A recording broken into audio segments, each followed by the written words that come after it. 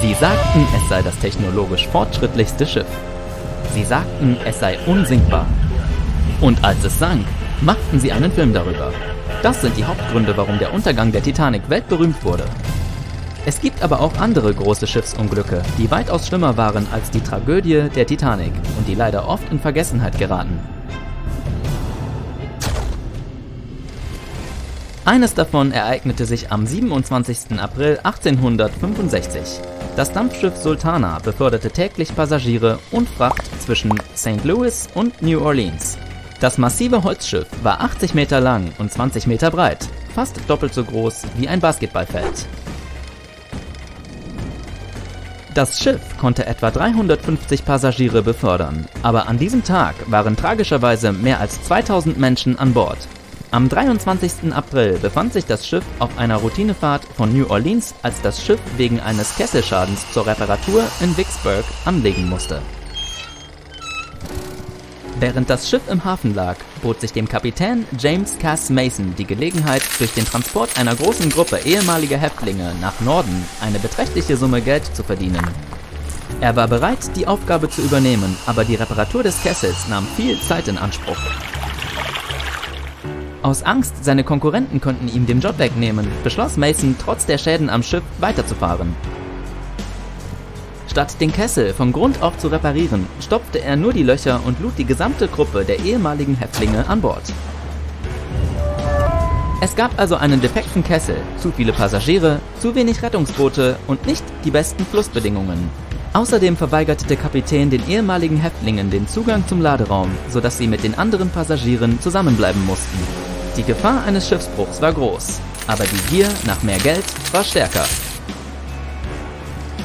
Die Sultana begann ihre Reise und fuhr zwei Tage flussaufwärts. Während dieser Zeit ereignete sich eine der größten Überschwemmungen des Mississippi. Der Fluss trat über die Ufer und der Wasserspiegel stieg um mehrere Meter. Die Bäume am Ufer waren völlig verschwunden, nur die Wipfel ragten noch aus dem Wasser. Das Schiff kämpfte gegen die starke Strömung an, die den Kessel stark beanspruchte. Am Abend des 26. April erreichte die Sultana schließlich Memphis, Tennessee, wo sie mit weiteren 120 Tonnen Zucker und 200 Passagieren beladen wurde. Das Schiff wurde unglaublich schwer. Gegen Mitternacht setzte die Sultana ihre gefährliche Reise fort, während der Kapitän zu den Lastkähnen fuhr, um Kohle zu laden. Um 1 Uhr morgens legte die Sultana ab und nur eine Stunde später explodierte plötzlich der beschädigte Kessel, der der Belastung nicht mehr standhalten konnte. Zum Zeitpunkt der Explosion befand sich die Sultana nur 11 Kilometer nördlich von Memphis. Nur wenige Menschen überlebten das Unglück. Ein großes Problem war, dass einige Passagiere versuchten, dem Feuer zu entkommen, indem sie in den kalten, reißenden Fluss sprangen. Die Sultana-Katastrophe gilt als das schlimmste Schiffsunglück in der Geschichte der Vereinigten Staaten. Die genaue Zahl der Todesopfer ist bis heute unbekannt und die Schätzungen schwanken je nach Quelle zwischen 961 und 1800. Kein Wunder, dass kaum jemand diese Geschichte kennt. Bei der Titanic-Tragödie gab es viel mehr Überlebende und jeder hat davon gehört. Aber die Sultana sank während eines spektakulären Ereignisses. Die Katastrophe ereignete sich nur zwölf Tage nach dem Tod von Präsident Abraham Lincoln. Die Menschen waren noch in Trauer und hatten sich von dieser Nachricht noch nicht erholt. Aus diesem Grund wurde der Sultana-Tragödie wenig Aufmerksamkeit geschenkt. In jüngster Zeit haben sich zahlreiche Katastrophen ereignet, die historisch gesehen noch gar nicht so lange zurückliegen. Ein Beispiel ist der Untergang der senegalesischen Fähre Le Jola im Jahr 2002. Die Le Jula beförderte zweimal wöchentlich hauptsächlich Passagiere entlang der Küste von Dakar, die mit Mangos und Palmöl handelten. Dank ihrer modernen Rettungsausrüstung und eines effizienten Reparaturdienstes war sie täglich im Einsatz und hatte nie ernsthafte Probleme. Eines Tages stellte die Besatzung fest, dass das Schiff defekt war und beschloss es in den Hafen zu bringen. Fast ein Jahr lang lag die Lejula dann still und wartete auf die Reparaturen. Aber sie bekam keinen guten Service. Nach der schlechten Wartung trat die Fähre ihre letzte Reise an.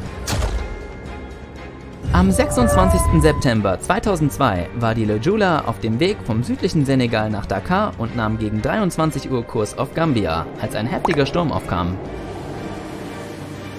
Obwohl der Wind hohe Wellen verursachte, war dies für das große Passagierschiff nicht kritisch, solange die Anzahl der Passagiere an Bord die festgelegte Norm nicht überschritt. Stile Jula war für etwa 500 Passagiere ausgelegt, aber an diesem Tag waren viel mehr Menschen an Bord. Das Schiff geriet durch Überladung, unzureichende Reparaturen und einen heftigen Sturm in große Schwierigkeiten. Der Hauptgrund für den Untergang war jedoch, dass die Lejula ausschließlich für Küstengewässer konzipiert war und an diesem Tag weit von der Küste entfernt fuhr. Als das Schiff in hohe Wellen geriet, schaukelte es sich auf und kenterte schließlich.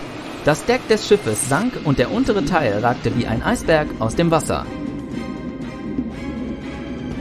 Die Passagiere in den Kabinen wurden von der plötzlichen Bewegung überrascht und verloren die Orientierung im Raum. Trotz des Kenterns wies der Rumpf des Schiffes keine Löcher oder Beschädigungen auf und die unteren Decks standen über einen längeren Zeitraum unter Wasser. Das Schiff lag mehrere Stunden in Schräglage, bevor es zu sinken begann, als Wasser durch das Deck und den Laderaum eindrang. Obwohl das Meer warm war, kam den Passagieren niemand zu Hilfe. Die Menschen mussten fast vier Tage warten, bis sie gerettet wurden. Leider überlebten nur wenige. Die Philippinen gelten als sehr gefährliches Segelrevier mit tausenden von Inseln und flachen Gewässern. Schiffe können auf Riffe und Untiefen auflaufen und den Rumpf beschädigen.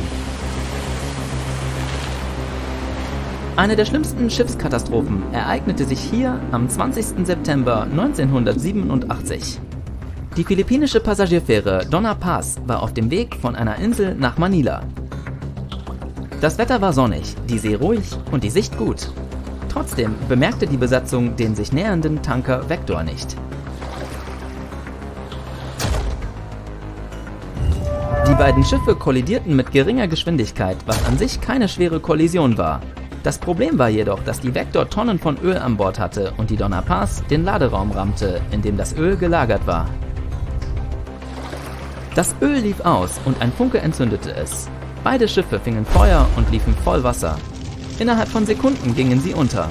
Nur wenige Dutzend Menschen überlebten die Katastrophe.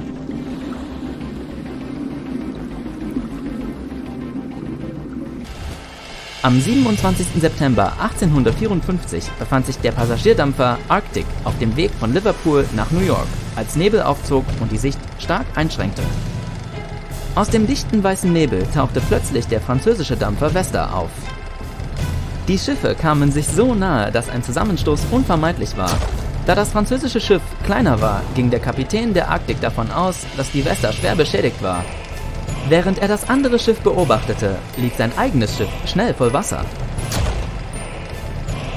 Der Kapitän gab den Befehl, so schnell wie möglich zur Küste zu segeln, aber die Maschinen des Schiffes fielen wegen der Flut aus. Die Besatzung begann daraufhin, Rettungsboote mit Frauen und Kindern zu Wasser zu lassen. Als die Rettungsmannschaften die Boote mit den Überlebenden fanden, stellte sich heraus, dass von den 400 Menschen an Bord nur 87 überlebt hatten, 65 Besatzungsmitglieder und 22 Passagiere. Erstaunlicherweise waren nur erwachsene Männer unter den Überlebenden. Der Kapitän überlebte, indem er sich an das Wrack klammerte. Als eine der schlimmsten und beschämendsten Tragödien in der Geschichte der Seefahrt ging diese Geschichte durch alle Zeitungen.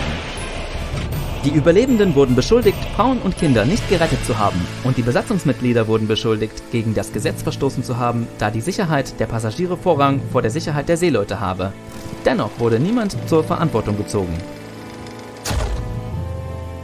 Trotz moderner Navigationssysteme und Radaranlagen ereignen sich leider auch heute noch Schiffsunglücke, wenn auch nicht mehr so häufig wie in der Vergangenheit.